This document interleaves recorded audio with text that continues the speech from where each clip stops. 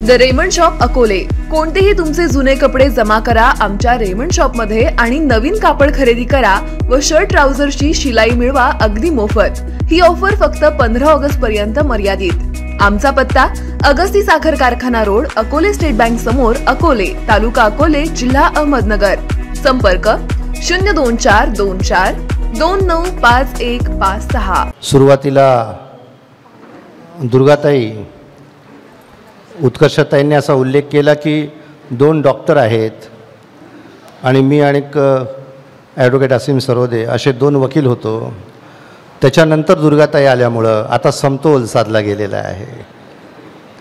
आणि नगराध्यक्ष आपण आहात आणि तुम्ही आल्यानंतर एक आम्ही फिल्म बघितली बाबूजींची. तो सगळा जीवनपट तुमच्यासमोर आहे. आणि असे बाबूजी की to cut a long story short like father like son असं म्हणतात इंग्लिशमध्ये. की जसा पिता तसा त्याचा पुत्र असं त्यांच्याबद्दल म्हणता येईल. आणि मी काल असं म्हटलं की तीन सिमिलॅरिटीज पण आज मी सकाळी विचार केला मला पाच सिमिलॅरिटीज दिसतात. की आदरणीय दासाहेब आणि आदरणीय बाबूजी. की दासाहेबांचं वर्णन आम्ही करायचो आणि बाबूजींचे आम्ही असं वर्णन करतो. की प्रज्ञा शील करुणा मैत्री याचा अपूर्व संगम त्यांच्या व्यक्तिमत्वात झाला होता आणि त्यांच्या सगळ्या जीवनात आपल्याला बघायला मिळाला होता. असे दासाहेब आणि बाबूजी असं जेव्हा मी बघतो जेव्हा मला समज उमज आली तेव्हापासून मी त्यांचं आयुष्य बघितलेलं आहे त्यांच्या अखेरच्या क्षणापर्यंत. त्याच्या पाच गोष्टी ज्या आहेत फर्स्ट आणि फॉरमोस्ट त्याचा काल उल्लेख झाला आणि आज या ठिकाणी हे जे दोन अत्यंत म्हणजे महाराष्ट्रामध्ये महाराष्ट्राच्या बाहेरही गाजलेले असे वक्ते आहेत. आदरणीय ॲडव्होकेट असीम सरोदे आहेत. आदरणीय डॉक्टर अजित नवले आहेत. तर ते बाबूजींचं जे खासियत होती की दादासाहेबांना सगळ्या महाराष्ट्रामध्ये जे आपण ओळखतो म्हणजे एक अत्यंत प्रभावी असा वक्ता म्हणून अ ग्रेट ओरॅटर आणि बाबूजींची पण ओळख तशीच झाली पूर्ण महाराष्ट्रामध्ये. He was a very impressive orator आणि महाराष्ट्रातल्या जर पाच पंचवीस चांगल्या वक्त्यांची गेल्या पन्नास वर्षाची जर यादी तयार केली तर माझा असा विनम्र दावा आहे की त्याच्यामध्ये बाबूजींचं नाव असलंच पाहिजे. असं एक similarity like father like son a great orator ती दुसरी खास सिमिलॅरिटी ती म्हणजे बाबू म्हणजे दा दादासाहेब जेव्हा एकोणीसशे छप्पन्न सत्तावन्न साली जेव्हा बाबासाहेबांचं महापरिनिर्वाण झालं आणि सत्तावन्न साली ते ऑल इंडिया शेड्यूल कास्ट फेडरेशनचे नऊ खासदार निवडून गेले. आणि ते जे प्रबुद्ध भारत आहे जे बाबासाहेबांचं पाक्षिक ते चालवायचं कोणी? त्याचं संपादक कोण? त्याचं कार्यकारी संपादक कोण? असं जेव्हा प्रश्न निर्माण झाला तेव्हा सगळ्या त्यावेळच्या नेत्यांनी असा निर्णय केला की दादासाहेब त्या प्रबुद्ध भारताचे कार्यकारी संपादक.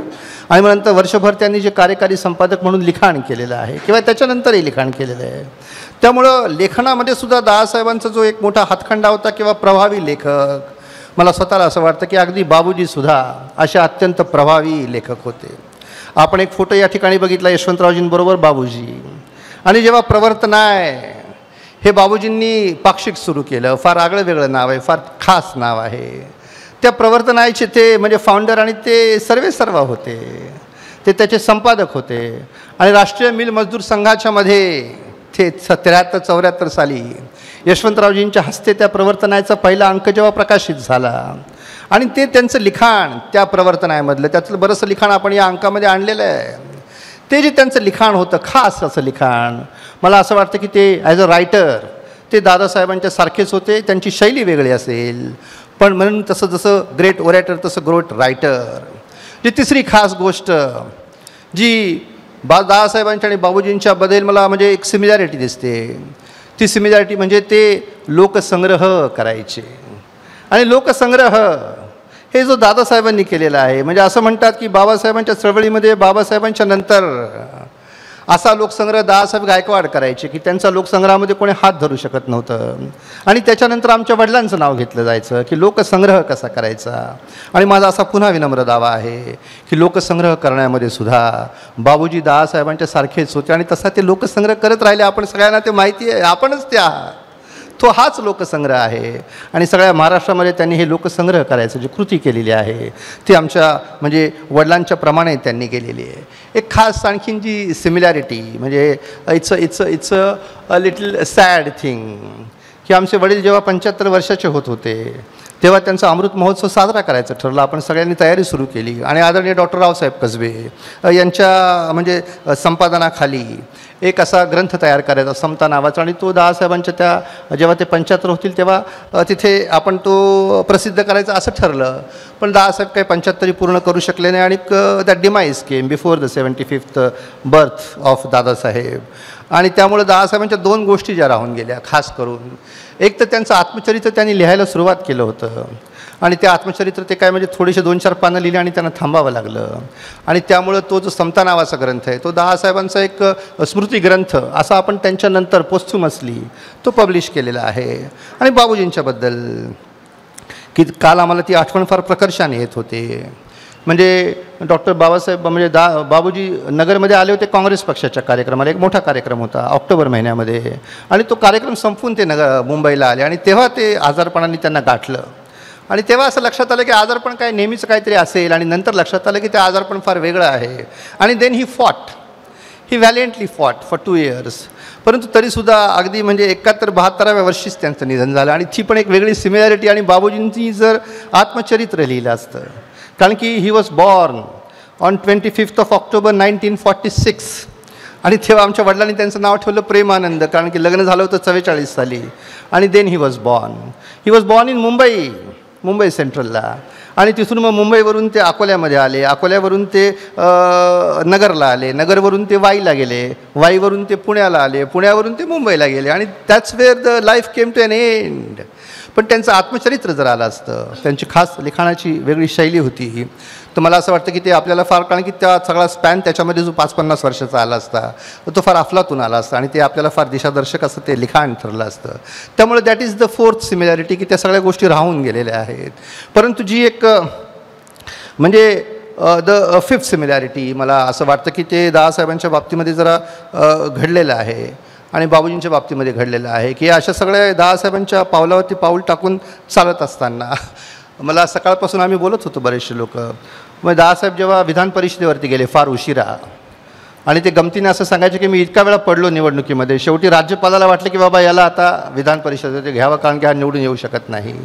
त्यामुळं चार निवडणुका आदरणीय दहासाहेबांनी लढवल्या जुन्या जाणत्या लोकांना माहिती आहे. फर्स्ट आणि फॉरमोस्ट एकोणीसशे बावन्न साली कर्जत म्हणजे त्या श्रीगोंद्यामधून बाबासाहेबांनीच तिकीट दिलं ऑल इंडिया शेड्यूल कास्ट फेडरेशनचं एकोणीसशे बावन्न साली माझी पहिल्यांदा.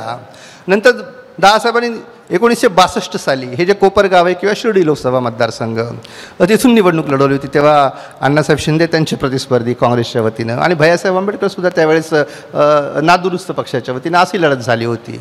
आणि नंतर मग दादासाहेबांनी इलेक्शन बा बऱ्याच वर्ष लढवलीच नाही एकोणनव्वद साली शरद पवार साहेबांनी फार मोठं असं एक sort of a prestige issue केलं की दहा साहेबांनाच उभं केलं पाहिजे. आणि मुंबईमधून मग दक्षिण मध्य लोकसभा मतदारसंघातून दहा साहेबांनी एकोणनव्वद साली निवडणूक लढवली. त्याच्यानंतर एक्क्याण्णव साली निवडणूक लढवली कारण की ती लोकसभा काही फार वेळ चालली नाही. आणि या चार निवडणुकांच्यामध्ये त्यांचा पराभव झाला. आणि मग मी सिमिलॅरिटी जी म्हणतो की असं दादासाहेबांनी ज्या चार निवडणुका लढवल्या लोकांच्यामधून निवडून येण्यासाठी अशा चार निवडणुका आमच्या बंधूंनी पण लढवल्या. फर्स्ट निवडणूक मला ती आठवण आम्ही सकाळी फार म्हणजे अनेक त्या आठवणी काढत होतो. जुने जाणते इथं लोक आहेत बद बैचे सर असतील मिलिंद मामा असतील आमचे उघाडे साहेब असतील बी आर कदम साहेब असतील आमच्या संघाचे अध्यक्ष. की अठ्ठ्याहत्तर साली he was a very young person आणि दादासाहेबांनी त्यांना म्हणजे त्यावेळेस दोन काँग्रेस झाल्या होत्या. तुला ते माहिती असेल. एक होती काँग्रेस आय म्हणजे इंदिराजींची काँग्रेस. आणि दुसरी होती काँग्रेस यू म्हणजे देवराज अर्स जे होते कर्नाटकाचे त्यांची काँग्रेस.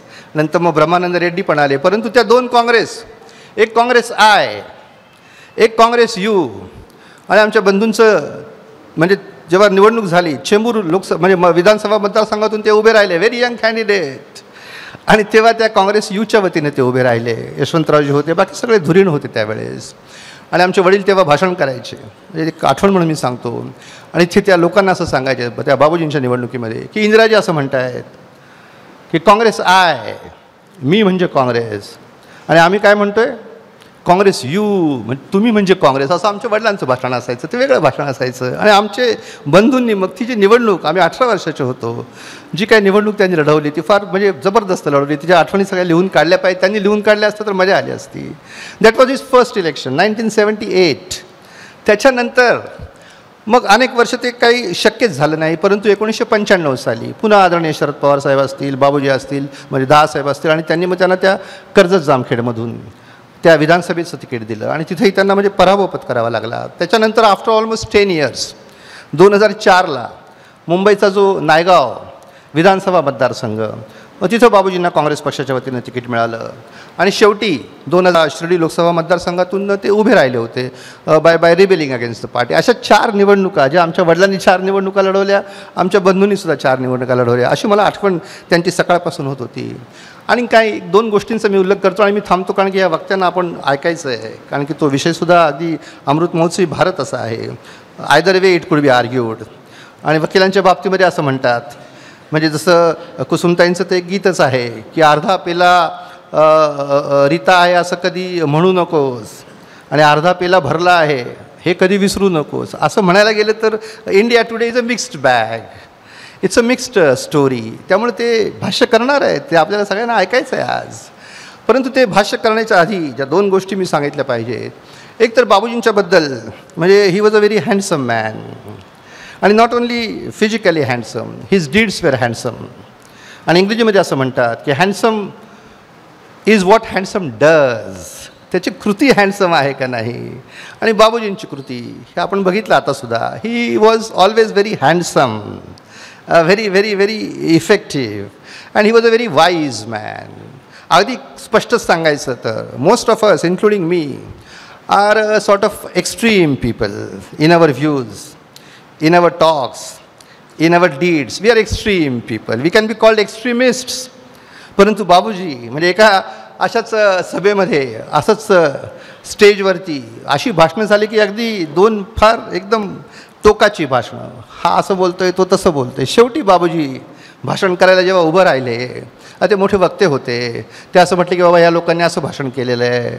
या लोकांनी असं भाषण केलेलं आहे. आणि बाबूजी असं म्हटले की बाबा मी तर भगवान बुद्धांचा मध्यम मार्ग पाळणारा माणूस आहे म्हणून मी मध्यम भूमिका घेतो. असं म्हणून त्यांनी जे त्या दिवशी रिकन्सिलिएशन केलं. त्याने जो तिथे संवाद साधला आणि त्या सगळा तिथं काही जे एक विसंवाद होता तो त्यांनी दूर केला. ते त्यांच्या म्हणजे थिंकिंगचं मोठेपण होतं.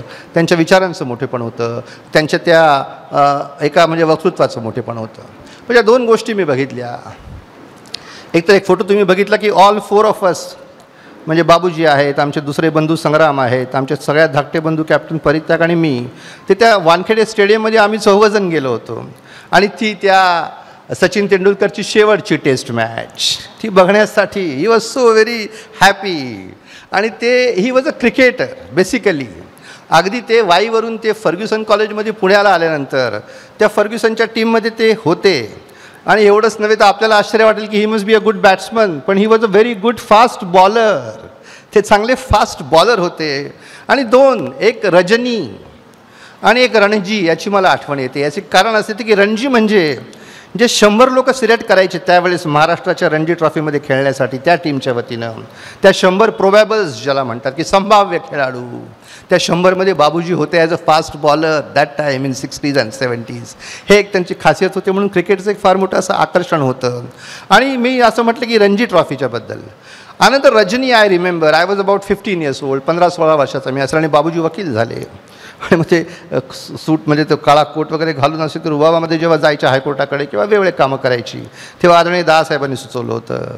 इतरही काही लोकांनी सुचवलं होतं की त्यावेळेस बॅरिस्टर रजनी पटेल त्या रजनी पटेलकडे त्यांनी जावं त्यांच्या चेंबरमध्ये आणि ही शूड जॉईन हिम पण ते जरा त्यांचा पिंड वेगळा होता त्यांची इच्छा वेगळी होती त्यांचा प्रवास वेगळा होता. So he refused to go to barrister Rajni Patel आणि त्यामुळे ते त्या वकिली क्षेत्राकडे जास्त रमलेच नाहीत. आणि त्यामुळे तिथून ते बाहेर पडले.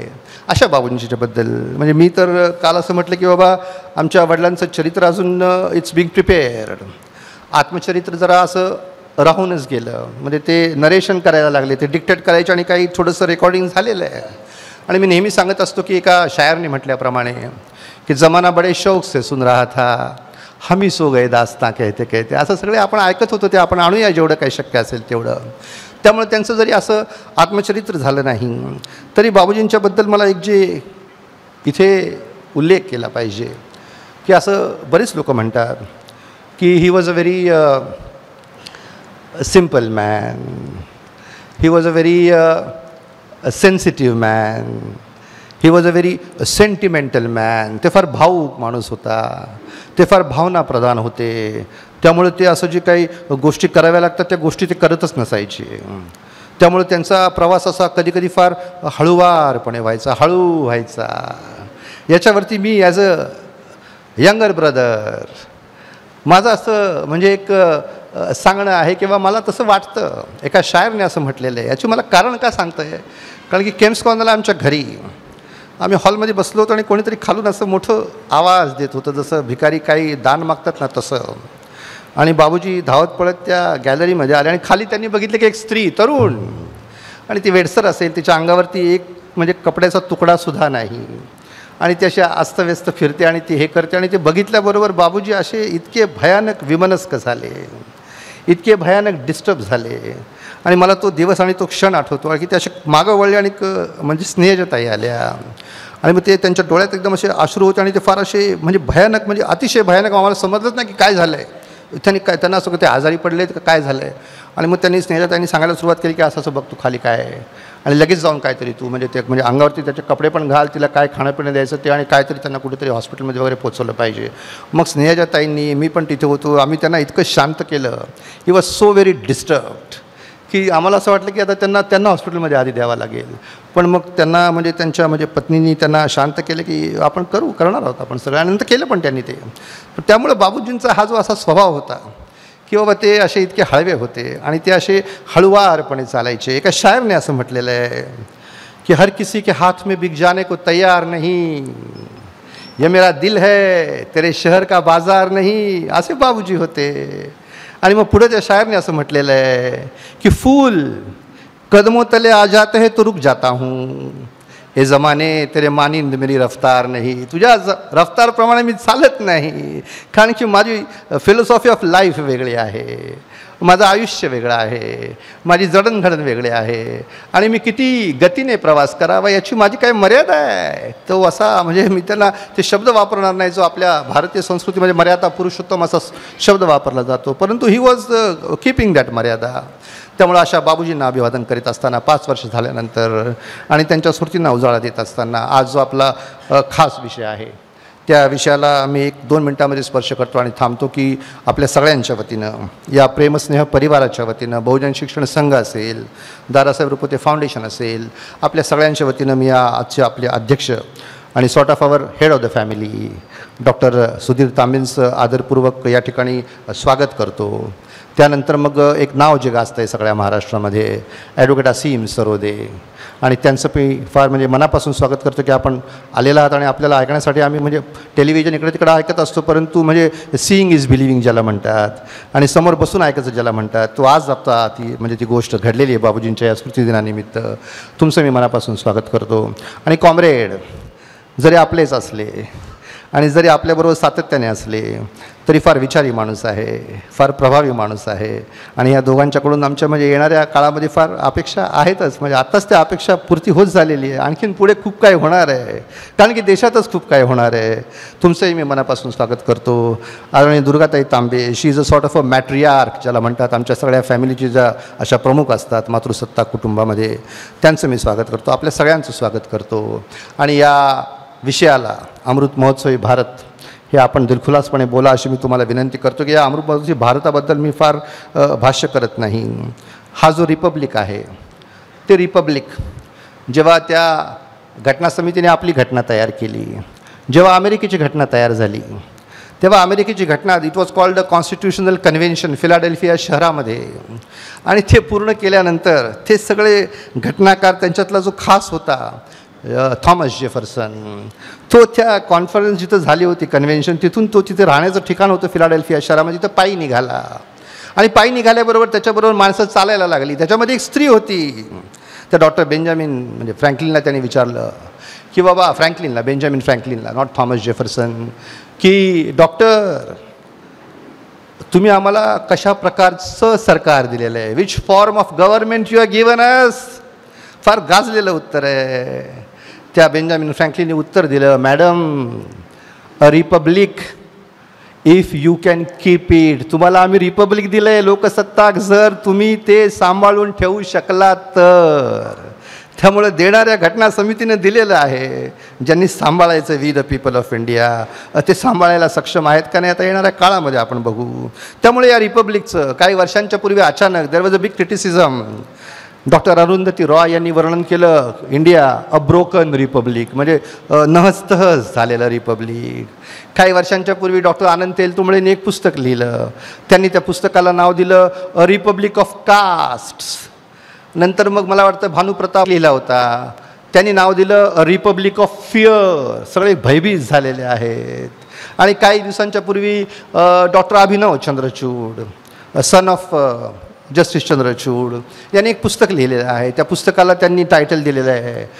रिपब्लिक ऑफ रेटॉरिक नुसतं बोलतायत. रिपब्लिक ऑफ रेटॉरिक आणि मला जर विचारलं तर मी असं नेहमी म्हणायचो गेली काही वर्ष की our republic is a derailed republic रुळावरून गाडी खाली घसरलेली पुन्हा आणावी लागेल त्या रुळावरती.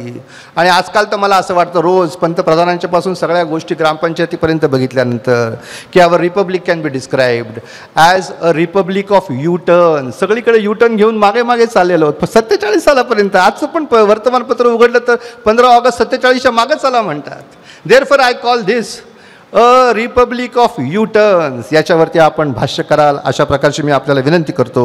आणि उत्कर्षताई असतील पारखे सर असतील आपण सगळ्यांनी हा फार छान कार्यक्रम पाचवा त्यांचा स्मृतिदिन त्यांना अभिवादन करण्यासाठी या ठिकाणी आयोजित केला. त्यांच्याही प्रति माझी आदराची आणि आभाराची भावना व्यक्त करतो. आणि पुन्हा एकदा आदरणीय बाई असतील बहुजन शिक्षण संघ असेल दादासाहेब फाउंडेशन आपल्या सगळ्यांच्या वतीनं या प्रेमस्नेह परिवाराच्या वतीनं आदरणीय बाबूसाहेब बाबूजींना त्यांच्या स्मृतिदिनानिमित्त मी आदरपूर्वक जय भीम करतो आणि आपली रजा घेतो. जय भीम.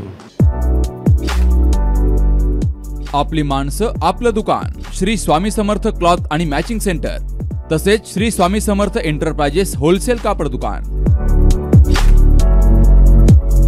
अकोलेकरांच्या पसंतीस उतरलेलं कापड विश्वातील लोकप्रिय नाव. म्हणजे श्री स्वामी समर्थ कापड दुकान. मनमोहक वस्त्रालंकार वाजवी किंमत आणि विनम्र सेवा. सहावार sari नववार sari Banarasi silk. Suiting shirting Manchar टोपी टॉवेल शाल नॅपकिन फेटा इनरवेअर आदी साहित्य एका छताखाली. लग्न बस्त्यासाठी खास अद्ययावत व्यवस्था तसेच लग्न बस्त्यावर ट्रॉली बॅग फ्री. लहान मुलांच्या असंख्य व्हरायटीजचे मनमोहक कपडे. महिलांसाठी होलसेल स्वतंत्र साडी विभाग. तसेच स्वतंत्र लेडीज आणि जेंट्स विभाग. एक वेळ अवश्य भेट द्या. खरेदी करा मनमोहक वस्त्र आणि खुलवा आपलं सौंदर्य. आमचा पत्ता शाखा नंबर एक श्री स्वामी समर्थ क्लॉथ व मॅचिंग सेंटर अगस्ती कॉम्प्लेक्स पहिला मजला बाजार तळाजवळ अकोले तालुका अकोले. आणि शाखा नंबर दोन श्री स्वामी समर्थ एंटरप्राइजेस होलसेल कापड दुकान भिंगारे गोडाऊन शेजारी दत्त मंदिर रोड कचेरी परिसर अकोले. प्रोप्रायटर बेनके बंधू संपर्क पंच्याहत्तर अठ्ठ्याऐंशी एक्कावन्न एकतीस तेहतीस आणि शून्य चोवीस चोवीस बावीस तेहतीस चोवीस.